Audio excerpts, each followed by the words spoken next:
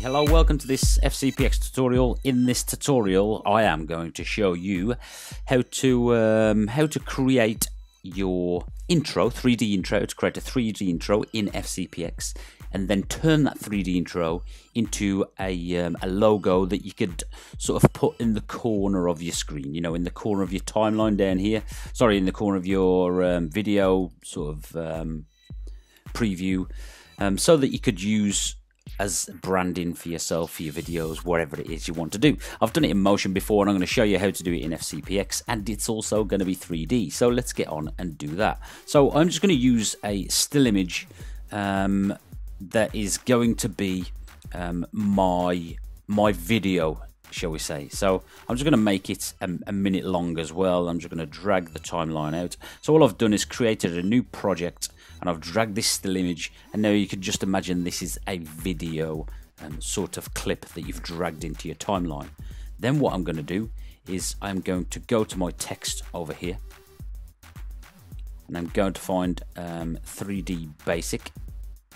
You could even have custom 3D let's let's let's find um, 3D basic. Let's have 3D basic. You could have custom 3D. I'm just going to use um, basic 3D, and I'm going to drag this into my timeline also to the start, and I am going to drag it out to be a um, a minute long, the same as my video clip, because I want my basic 3D. Remember, I'm going to turn it from an intro as it is now, um, or as it will be into a logo that sort of comes to the corner of my screen or whichever wherever you want it to go on your screen but made much smaller and go to um, somewhere to brand my video.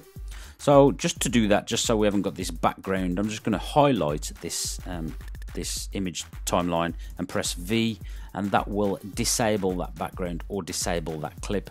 Um, and if I write if, if I sort of um, right clicked on it you could just go enable or disable with V right there. So let's work on this um, basic 3D right here. So I've got it highlighted in my timeline and everything that I'm going to do, I am going to um, do in my um, inspector over here.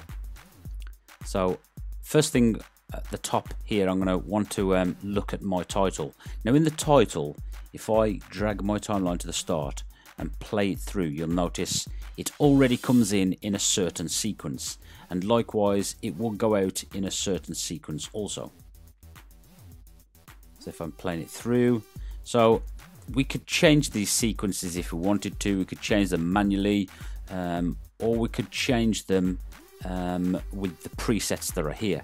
So all I'm gonna want it to do, I want it to um, tumble tumble zoom down. Shall we have a look at that? Let's let's have a look at what happens if we do that. Tumble zoom down. It happens quite quickly, so we're going to. Um, yeah, actually, I'm I'm I'm I'm I'm fine with it happening. You know, with it, it, it doing this transition quite quickly, and it will just do the same backwards to um to sort of of go out. Okay, so do exactly the same. Tumble down, but backwards to go out um, at the end of that minute. So during the time, during the um, during the main sort of video, nothing's going to happen with it. So we can animate it. Um, we can animate it in a, in a, in a little while. Before we um, before we go on and animate it, we're just going to change this text a little bit. Now on this text you can see that it's already self-lit, so there's lighting already applied to it. So we're not going to mess about with any lighting when we come to the lighting parts. We're just going to leave the lighting as it is, um, and we're going to try and keep this really basic, um, but um, but effective also. So the first thing I'm going to want to do is go to my text here, and change my text to um, the the the text that I desire I've changed it there. And then what I'm going to do is, um, if you want to change the change the font, obviously you change the font. You just select the font, whichever font it is. Um, you change the size of the font, the alignment, and in the advanced, um, it just changes the line spacing. So how close the um, the the text is together. I'm I'm happy with everything as it is at the moment. All I'm going to do is change the depth of my 3D and I'm going to change it to um, to, to 60 so type in 60 press enter. And then the um, you can see this this 3D here is is quite thick now. Um, I really don't want it that thick. So I'm going to go 40 and a lot of it is trial and error. Um, so let's go 40 and, and I'm a lot happier with this text. Where do I want the, the depth direction?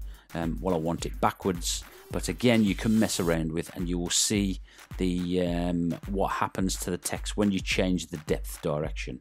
Actually no I don't want it backwards. I just want it centered. It doesn't really do too much of a, um, a difference. The weight the weight is just the thickness of the text. So if I dragged the weight up a little bit you will see the text gets thicker and gets thicker. Well I'm happy with how the text is as it is, so I'm just going to leave it on zero and press enter. And then the front edge bevel, so on here you will have a bevel on the edge, and I'm just going to change that bevel to, um, to be concave. So it just adds a little bit, and you can see here, just on the edge of this text, it just adds a little bit of detail to the text, and you'll see more when I add colours. We could change the edge size, but I don't want to change the edge size. And really, a lot of it is is down to um, personal preference. The material, at the moment I've got it on single, you can have it on multiple, and that is sort of going to be, um, when you mess around with the colours, it's going to be um, sort of like a, a linear sort of change if you changed it to multiple colours. So like a gradient. Um, the substance, plastic, um, let's go for a, a metal, but just to um, some some of the fabrics are quite nice. Some of the new fabrics, this um, this sort of denim is quite is quite cool. But but yeah, I'm going to go for a metal because I want a little bit more more of a, um, a, professional feel. And then here on the drop down where it says aluminium, um, um, let's have a look at chrome. Chrome's quite nice. It's got some quite nice lighting, and you'll you'll notice the lighting is up here, and we can go show and hide and we can change the lighting to um, to where we want the lighting to be. But at the moment it's just on standard and that is, is is very general. So that's quite a nice lighting effect when it's when it's like that. And you can see the effects. If you change the lighting you'll see the effects it has as you change the um, change the lighting. So if you want to change the lighting um, but for me I'm just going to leave it on um, on medium center that's you know it's it's fine. So I've got my um, I've got my substance on metal. Choose your substance. I've got on on chrome. The shininess. I'm gonna I'm gonna crank this up to um, 96. Press enter, and it just makes it a little bit more shiny as you would expect. Thickness is on 100%. It doesn't need to glow. Doesn't need to drop shadow. Um, so we're just to leave it as it is. So at the moment, my text, the way it will look will come in like so. It will just sit right there, not do a thing until we get over here and then it will go out. So now, um, obviously we don't want it to be sat in the center the whole time because we're going to want to change it from our um, intro like so into our logo while it's sat here doing nothing. So, um, so yeah, let's move on and do that. Okay, like I said, we're going to move on to now. Let's um, let's animate our logo a little bit while it's um, while it's just sat in the corner of our screen doing nothing. I know it's in the middle at the moment. We'll change it to the corner in a second.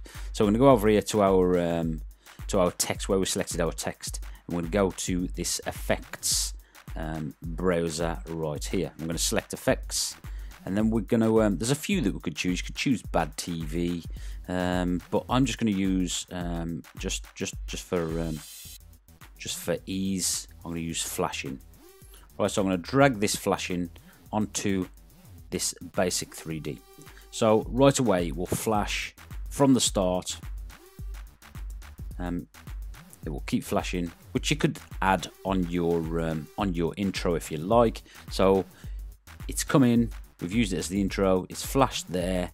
Maybe we want to turn down the flashing a little bit. So what we need to do is go to um, go to our video and um, here's the flashing right here. So if I turned it off, it would stop flashing, just a little blue button. So I've turned it back on and I've dragged the intensity down to um, just around 50%. So now when it when it flashes, it's just going to be 50%. That even might be a little bit too much as well. So let's turn it down again to around 26. Let's have a look what's going on there.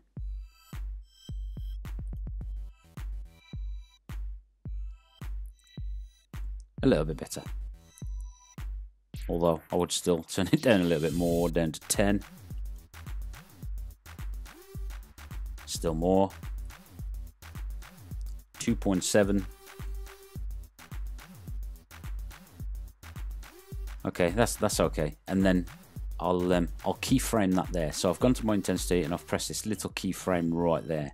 So about here is where we're going to move it down. So I'll move the, the keyframe up to around just just another second or so, and then I've turned this intensity right down to zero. So now we've got um, got this on zero. So our intro comes in, flashing turns down to zero, and then what we're going to do, we're going to move this to a different position. Okay, and the you could move it via this via these um, via these little buttons here. Like so. I'm not going to do that. The way I'm going to do it I'm going to select this little button right here this transform button. And then I'm going to drag in my timeline where I want my my um, sort of intro to stop if you like and my um, and my logo to begin. So for it to get smaller and it's going to be around around here. I'm going to click keyframe on that. I'm going to move my timeline up just a couple of split seconds I'm going to make my text smaller by grabbing these corners like so and drag these corners then I'm going to drag my text down into the corner where I want it to be okay then I'm going to click done.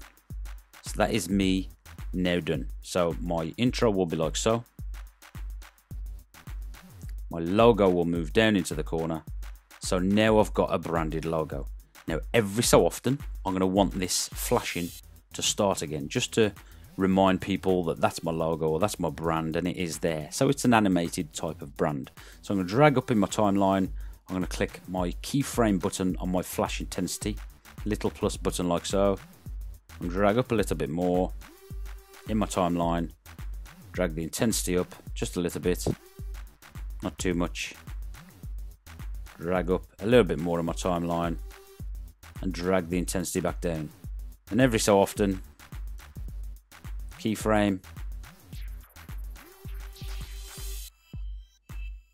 drag the intensity up. Move along in my timeline, drag the intensity back down.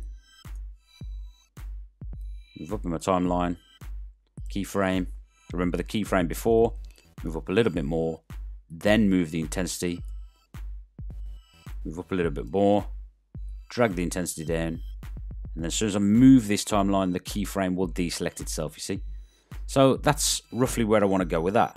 And now I'm going to sort of come out and do an outro if you like. So about here, um, towards the end of my timeline, I'm going to click the transform button again. I'm going to keyframe it. Look, keyframe up here. I'm going to move up in my timeline. Sorry, I'm doing a few things at once with my Mac, so it's quite memory extensive using 3D text, FCPX, recording, downloading updates. And then I'm going to drag it a little bit bigger, like so. And as I move up in my timeline, the outro will kick in. Okay, so let's have a look at that.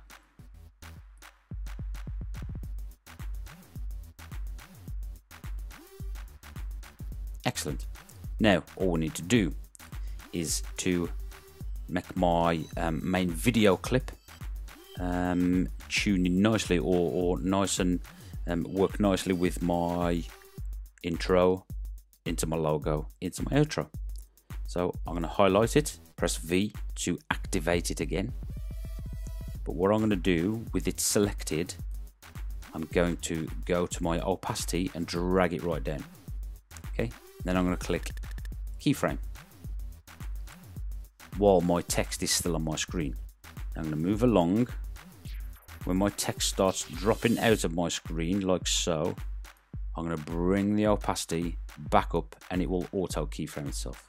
Okay, just going to click done to get rid of these little um, handles around the outside. So now this will look quite nice. As it goes away, then my video starts. And all I'm going to do is reverse what I've just done for the video going out. So click keyframe while it's at its full intensity and as this comes in I'm then gonna turn the opacity down so the video fades out and it looks a bit like so. Okay, so then you go into your outro, put some music over the top of it, and it's um, it's really simple. So this is helped you. I hope you um, enjoyed the tutorial. If you have any issues, any dramas, um, please drop a comment. Let me know. Speak to you soon. Bye.